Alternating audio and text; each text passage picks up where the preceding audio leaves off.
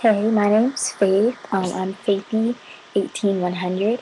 I'll be talking about like how Amy Winehouse died at such a young age. She died at the age of 27 in her London home. She was found dead. I think, well, I think she died from doing too much drugs. She was doing drugs with Blake Silverfielder. He was one who introduced drugs to her.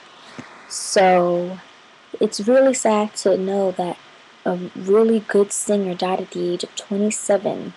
She was known for singing really well, scat singing. She did jazz, hip hop. So she was, she mixed jazz and hip hop together, and that's what she got.